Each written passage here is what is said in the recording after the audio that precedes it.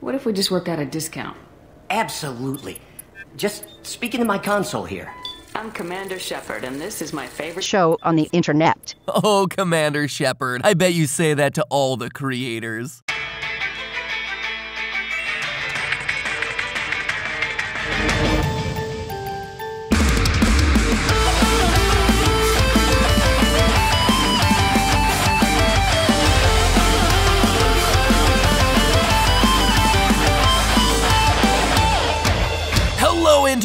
Welcome to Game Theory, the kindling for internet flame wars. I am your lightning rod of hate, internet. Let it flow through me. And I am sure today will be no different because we're tackling one of the most infamous, controversial theories from all of gaming. With Mass Effect Andromeda just dropping into our systems, and promptly dropping out after you're scared away by faces that exist in only the uncanniest of valleys, for as low of a point as this may be for the series, it can't compare with the true lowest moment, the end of the original trilogy. Because if you thought running around Citadel 2.0 like you have to poop is as low as this series has gotten, just try the crushing blow that comes with a series building up the importance of your choices across three epic games, only to receive an ending with no final boss and all those carefully crafted choices amounting to a different colored beam flying across the sky. It's like a disappointing more you know PSA.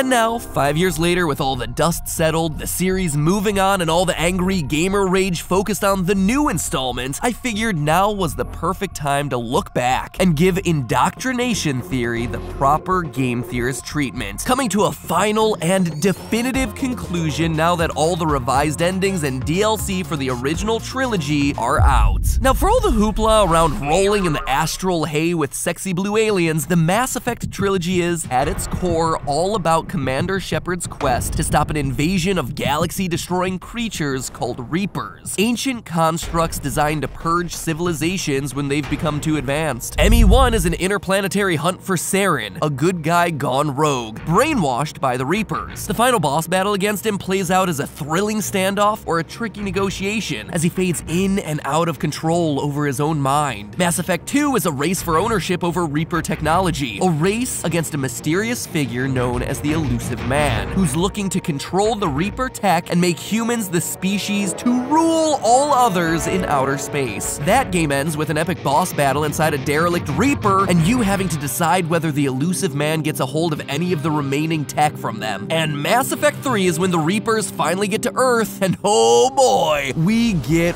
wrecked. But through countless sacrifices, the galaxy comes together to activate the Catalyst, the one weapon that may be able to stop the Reapers. The game ends not with a traditional boss fight like the first two, but rather with a really long, confusing talk with a hologram.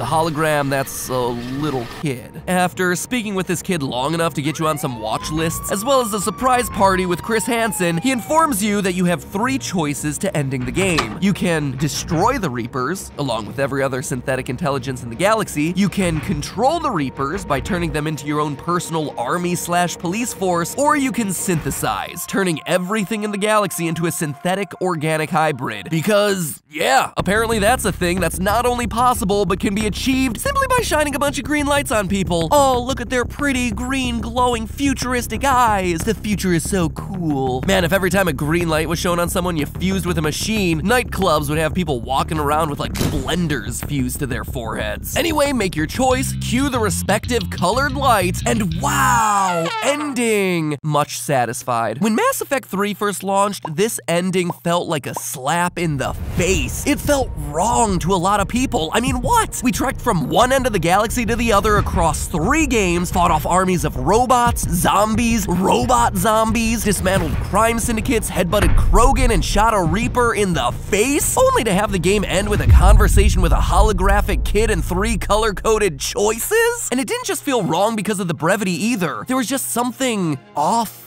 about the whole thing. What the Star Child was saying made no logical sense. The order of events started to get all hazy. Characters started to appear in places that logically didn't work, and the whole thing was presented like someone lost in a fog, both from an audio and visual perspective, but also animation started to become weird and unnatural. And remember, this was five years ago, back when the games had good animation. Well, good-ish. Fans felt a disturbance in the Force that told them that there was more to this than initially appeared. There had to be. There had to be. So a veritable army of YouTubers, Redditors, and BioWare forum members joined forces to pick apart the game, the series, and the endings frame by frame. And they arrived at one spectacular conclusion. The ending was a lie. It was happening in Shepard's head. The final test of the game wasn't a traditional boss battle, but rather a battle of wills. Shepard's mind fighting against the Reaper's indoctrination. And that's where I begin. So, what is indoctrination? Take it away, Mass Effect Codex.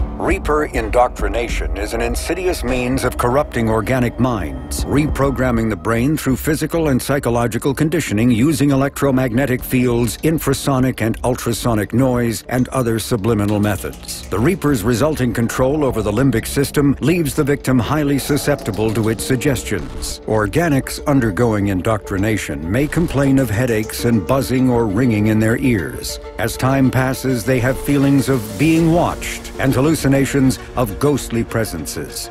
Ultimately, the Reaper gains the ability to use the victim's body to amplify its signals, manifesting as alien voices in the mind. Indoctrination can create perfect deep cover agents. A Reaper's suggestions can manipulate victims into betraying friends, trusting enemies, or viewing the Reaper itself with superstitious awe. Should a Reaper subvert a well-placed political or military leader, the resulting chaos can bring down nations. Long-term physical effects of the manipulation are unsustainable. Higher mental functioning decays, ultimately leaving the victim a gibbering animal. Rapid indoctrination is possible, but causes this decay in days or weeks. Slow, patient indoctrination allows the thrall to last for months or years. So to summarize, it's brainwashing that results from infrasonic sound, with symptoms that include hearing buzzing sounds and seeing ghostly hallucinations. Other indoctrinated organisms can amplify the signal, and the most effective way to do it is slowly and steadily via long-term repeated exposure. And it's worth noting that indoctrination can happen not only by coming into contact with Reapers themselves, but with any Reaper technology at all, and that includes quote-unquote dead Reapers. We very clearly see this happen in Mass Effect 2. One of the side missions specifically has us hearing about a team of scientists who were studying defunct Reaper tech and then went crazy. They started seeing things and ultimately killed each other. We even witness the changes that happen as two major characters become indoctrinated over these games. Remember Saren from Mass Effect 1? Canonically, he was indoctrinated to serve the Reapers, and he believed that through cooperation with them, he could prove that organics were useful. Once I understood this, I joined Sovereign, though I was aware of the dangers. The Illusive Man, by contrast, was also indoctrinated, but he believed that he could use Reaper technology to control them. But in reality, they ended up being the ones controlling him. He could never have taken control because we already controlled him. So very clearly, indoctrination is something thoroughly fleshed out throughout all three games in the series. This isn't some random side codex entry that someone thought would be fun to add in in the end. This is an omnipresent motif throughout all three installments, and we firsthand witness the effects as we see it infect other main characters. Ultimately, indoctrination is the most terrifying power the Reapers have, even more frightening than their ability to melt entire cities in mere moments, because even the act of fighting the physical threat of these aliens puts you in harm's way of the psychological threat that they pose. And knowing this, you can already see the huge problem Commander Shepard and his team are facing. Throughout the Mass Effect trilogy, Shepard has had personal conversations with three separate Reapers. He's come into contact and handled several dozen Reaper artifacts, was in close proximity to Saren's ship Sovereign, an active Reaper, and heck, even ended Mass Effect 2 inside a dead Reaper that was proven to have indoctrinated people who had visited it in the past. The writing is on the wall all. By the time Mass Effect 3 rolls around, Shepard should already be long indoctrinated. But that's not all, because Mass Effect 3 is a weird game, full of weird, creative decisions that don't make a whole lot of sense, or at least don't until you consider Shepard's possible indoctrination. Case in point, this kid. ME3's tutorial ends with the Reaper's first attack on Earth. Shepard finds this kid, this random nameless kid playing, and then finds him later hiding in an air shaft once the Reaper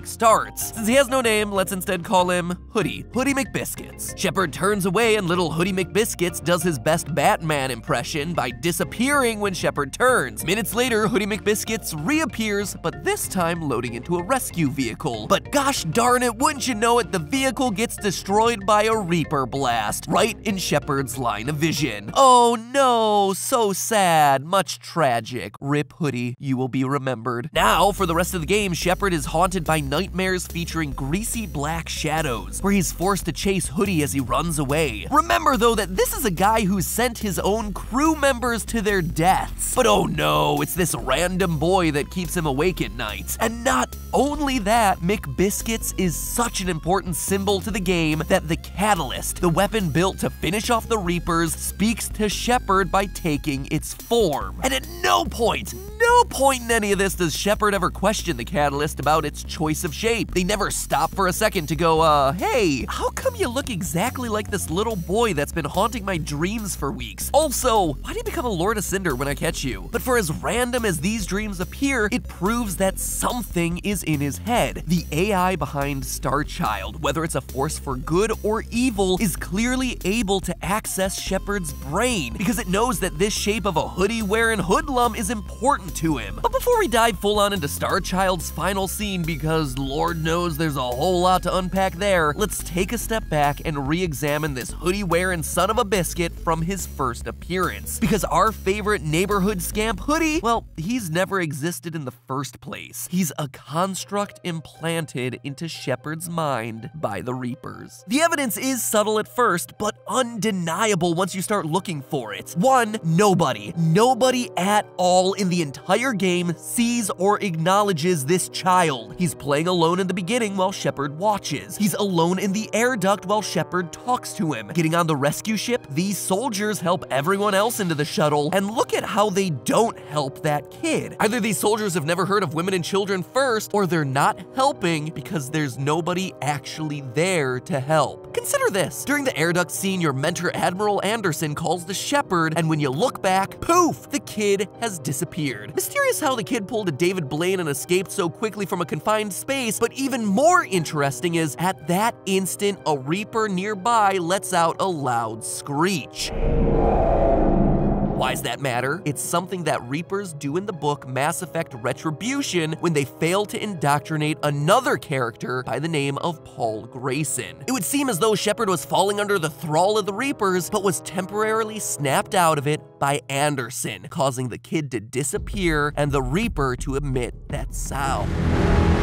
Now, before we dig into more specifics around that sound, first I need to address the random dreams that come after this moment. Like I said, from this moment on, Shepard constantly has these nightmares featuring smoky black shadows. Well, wouldn't you know it, but having dreams with shadows is another byproduct of the Reaper indoctrination process. Rewinding all the way back to Mass Effect 1, a critical mission that ripples through the entire rest of the series involves Shepard deciding whether or not to kill the Rachni Queen, mother of a species of creepy insect aliens. When interrogating her about the violent actions of her species' past, the Queen mentions a strange, sour tone coming from deep space, a tone that caused everyone to obey. A tone from space, it forced the singers to resonate with its own sour yellow note. A sour tone that prompted them to have dark dreams featuring, quote, Songs the color of oily shadows. Now, back in Mass Effect 3, when we speak to the Rachni Queen again, she once again speaks about that sour note, only now it's more powerful and she says who it's coming from. The sour note of the machines is everywhere. A race of machines. Later in the dialogue, it's officially confirmed. This race of machines making these sour notes are the Reapers. Can you still feel the Reapers? So, putting together the pieces, the Reapers are trying to indoctrinate the Rachni with their infrasound. Those sour notes, notes that, as we learn in ME1, cause dreams with oily black shadows. Shadows just like the ones that are appearing in Shepard's nightmares. Sure, it could just be a huge coincidence that the first time Shepard sees the child, the day all these dreams are triggered, dreams that reflect the style of dreams other indoctrinated species have had, just so happens to be the very first day that the Reapers show up. Yeah,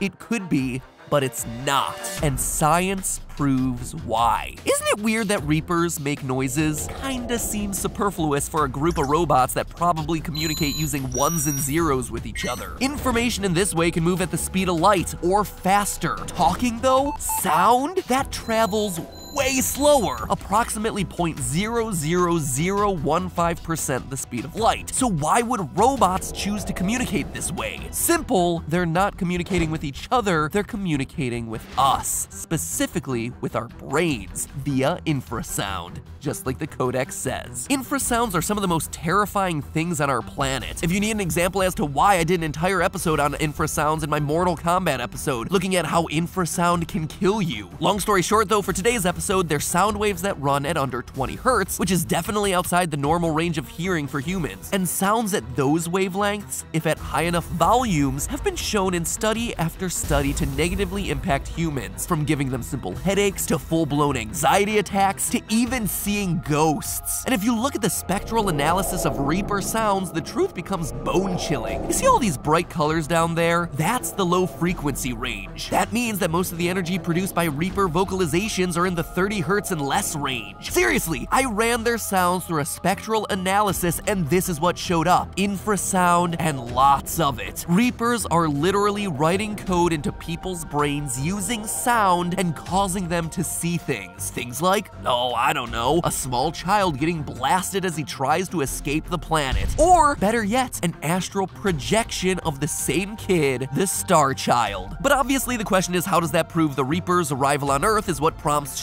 Shepard's indoctrination? Well, sound waves follow the inverse square law, and as a result they get exponentially less powerful as you get further away from their source. That's why folks need to be physically close to Reaper tech in order to feel its effects. And so when they're super close, just like your next door neighbor's dog barking nonstop all night, the sound is super powerful and the effects are at their peak. That's why the Reapers, now on Earth, can precisely control exactly what Shepard is seeing whenever they want. They've closed that distance. That's why Shepard's indoctrination is so strong throughout Mass Effect 3. Indoctrination is an assault on the will of organics, and creating an innocent victim that just so happens to be in Shepard's sight the very day they show up to harvest humanity, that's no mistake. That's an intentional attack on Shepard to weaken him, to soften him up. And you know what? It doesn't even stop there at all. Because now it's time to tackle the ending. Up to this point, we've only looked at evidence seeded throughout other parts of the series, but where it all comes crashing down is in the final hour of the game, where Shepard gets hit with sky beams, has heart-to-heart talks with Potter Puppet Pal versions of key figures in his life, and ultimately gets bored to death by our good buddy Hoodie McBiscuit. Only now, he's a hologram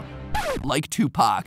But for now, the editors are giving me a really dirty look to wrap things up since doing any video over 15 minutes puts a lot of stress on them, so hold tight, my theorists, more Mass Effect is on the way. But first, I have a question for you. Does your face look and feel like this after shaving? Well, now it can look and feel like this. That's right, you too can have the strong, masculine chin and smooth, clean shave of Commander Shepard with the help of Dollar Shave Club for only, get this, one dollar. All you have to do is go to dollarshaveclub.com slash MatPat, M-A-T-P-A-T, and place your order. Boom! Get top quality razors delivered straight to your door or Citadel Housing Pod every month. My name is Matthew Patrick, and Dollar Shave Club is my favorite store for razors on the internet. But MatPat, what do I get for that dollar? Well, great question, girly voiced, high pitched viewer. Let me tell you. You get any razor of your choice. So here's the pro tip on what you're gonna do to maximize this offer. Go to the site, order the Executive.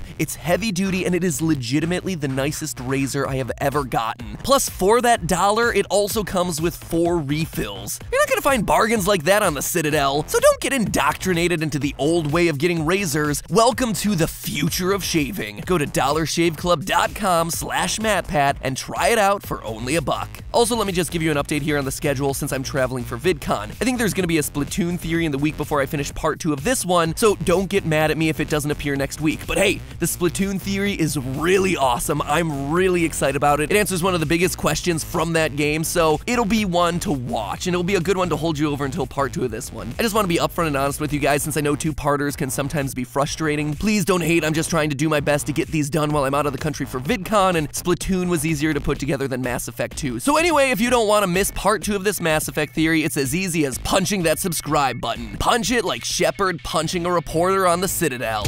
Ooh, that is satisfying. And in the meantime, remember, it's all just a theory. A game theory. Thanks for watching.